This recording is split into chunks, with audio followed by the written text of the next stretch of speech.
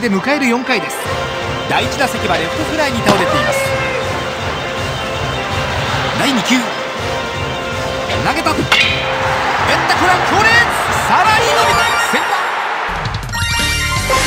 ー。同点で迎える6回です。第1球。投げた。初球はストライク。伸びのあるストレート。さあ次の投球。投げた。空振り。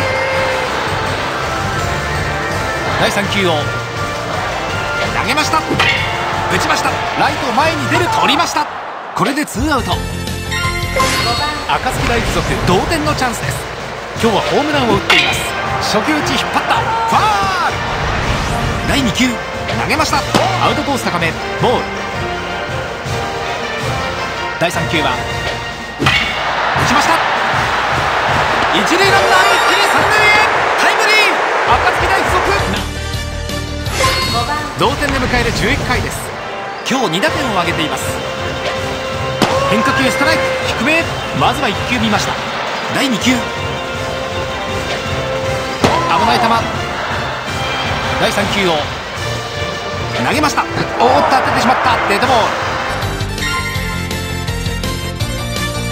ル。